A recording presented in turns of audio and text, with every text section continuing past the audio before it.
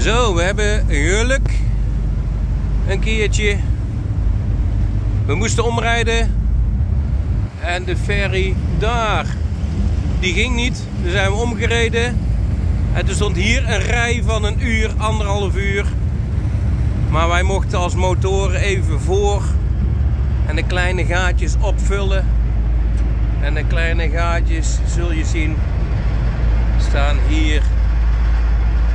Niemand tot last. Pikken geen plaats in van auto's. Die mens ken ik niet.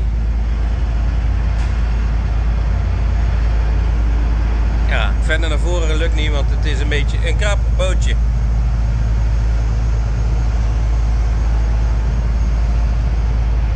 Doei!